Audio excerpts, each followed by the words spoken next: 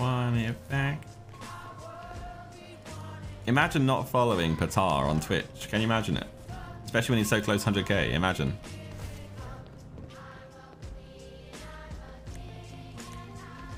No, like his links in there, and the chat we got to do is hit the follow button, and he'll hit 100k. You know, yeah, 100 you got over there.